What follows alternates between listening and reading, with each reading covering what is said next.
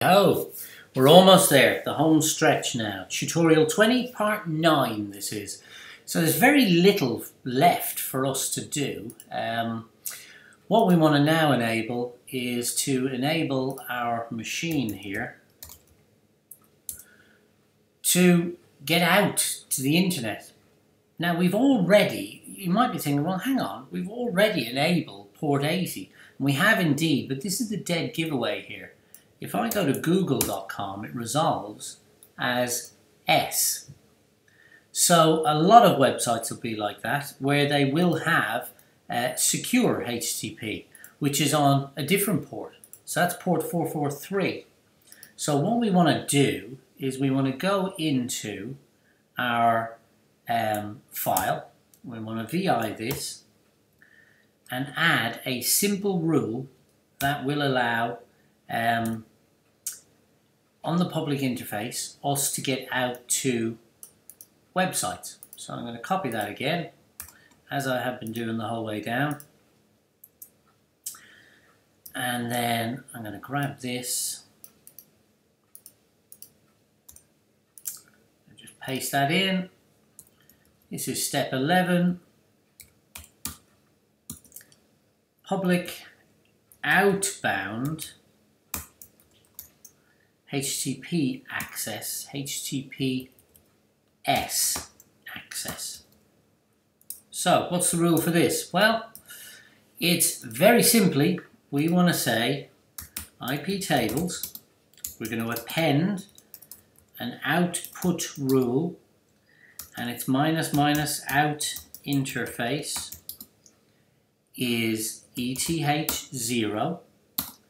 The protocol is TCP the destination port this time though is 443 and the state is minus whoops minus state new established or related. Minus j. I almost forgot to say what we were doing with it. Minus j accept. Now if we've got an outbound we want an inbound IP tables minus A input. So this time it's coming in and the minus minus in interface is ETH0. The protocol is TCP. The, whoa, the source port is 443. So it's on Ethernet interface ETH0 port 443 and the state this time is established related minus j accept.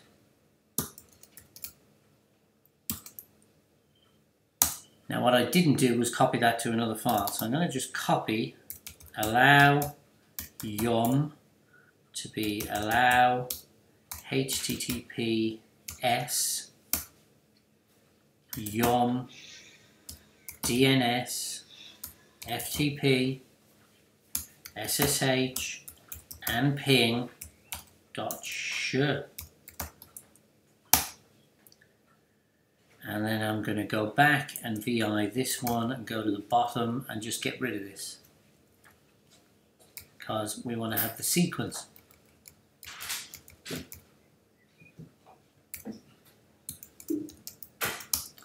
Save that one and I will just put HTTPS in here.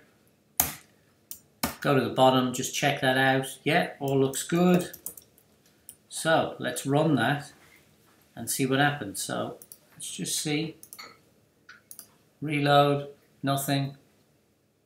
Looking very sorry for itself. Whoops I don't want that one. Kill that one. Close that.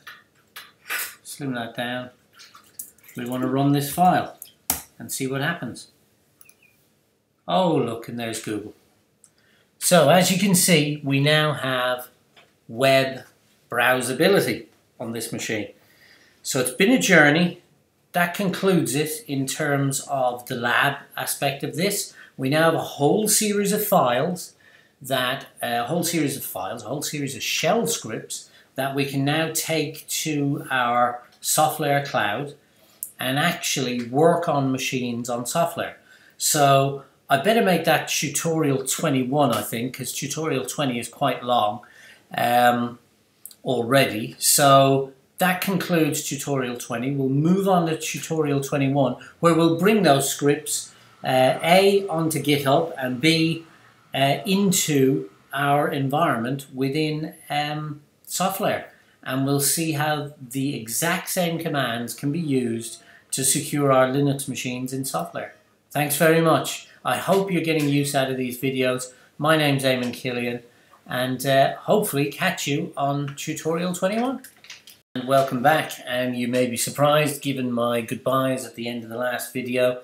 Uh, this is an add-on. I had completely forgotten one of the elements um, and it was when I was finalizing the videos for uploading onto YouTube that I realized there was one last element to do. It's a very, very quick element indeed. So we will add that now. Um, and it's basically the idea that uh, our machine can be a HTTP server. So, um, and I had mentioned it as part of uh, video one.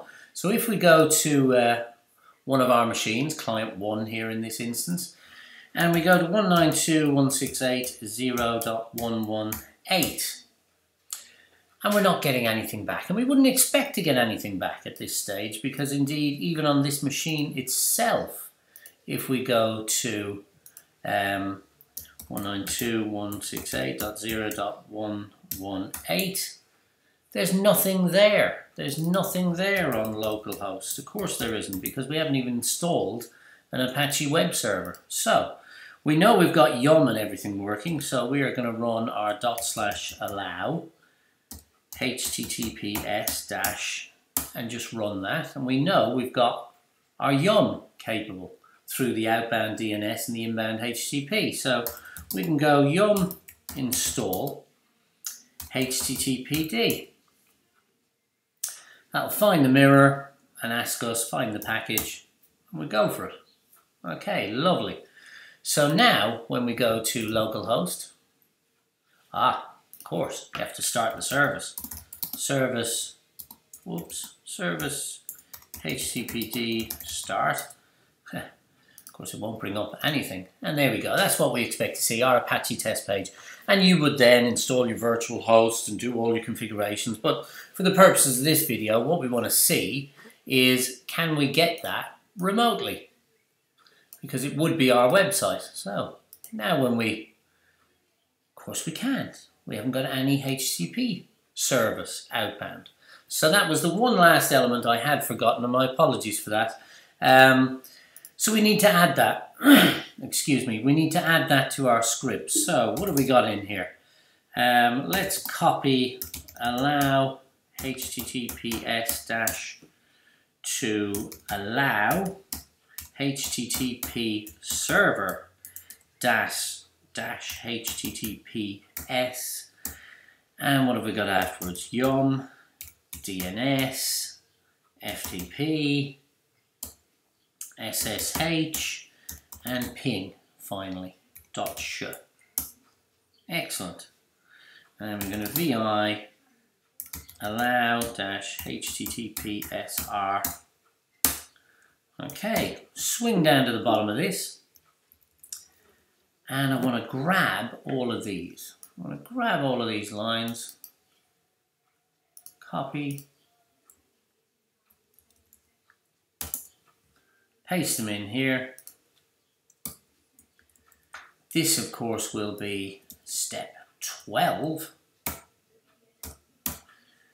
And in step 12, public http slash https server enabled. I think I'll call it that, server enabled. Yeah, be about right. Fine.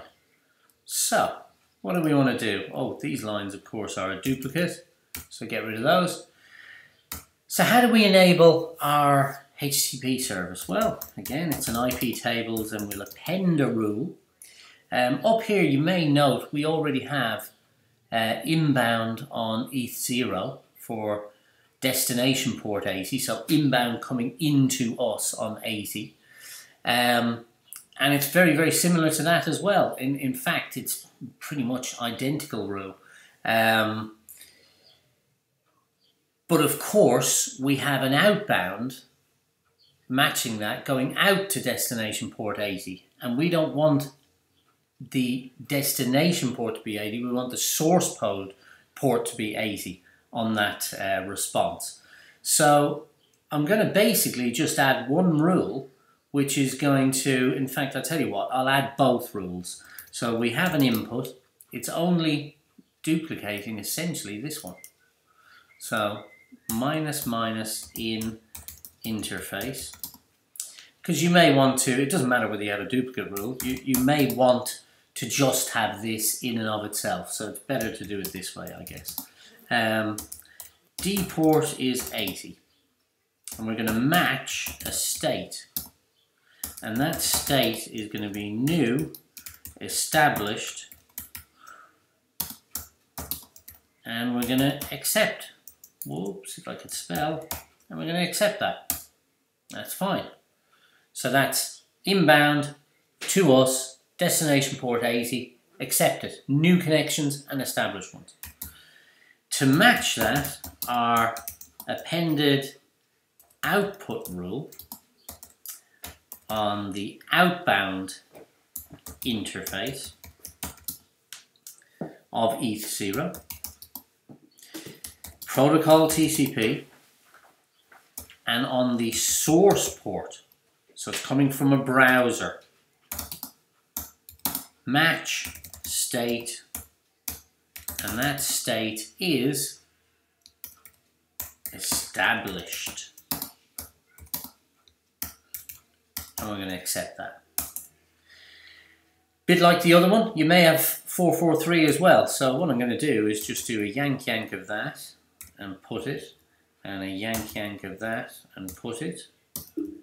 Clean this up so there's only one gap between them. Exactly and precisely the same rule, but on 443 because you may set your server up to be a secure HTTP server. And that's it. Now we're going to run it. So we're going to run that and now we have public HTTPS. And when we bring, on, bring in our browser, and this is client 1, there we go. That's what we expect to see. What about client 2?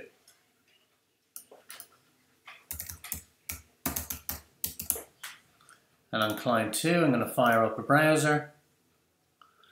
Keep that a second. There's our browser. And we're going to go to 192.168.0.118. And there it is.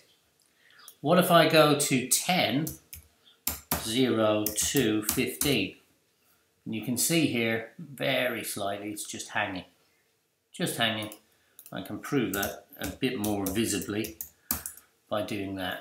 It's just hanging. Won't go anywhere. Of course it won't, because we didn't enable it on the private port. So we've got no HTTP access to our server service on our server um, on the private. It's only publicly available. And my apologies for forgetting that and giving all the goodbyes on the last video. I will say goodbye again and thank you so much. This was uh, real fun doing all the IP tables for this. Uh, my name is Eamonn Killian. I hope you're getting a lot out of these videos. Um, and thanks very, very much for watching. Tune in next time when we're going to take these scripts up onto IBM SoftLayer.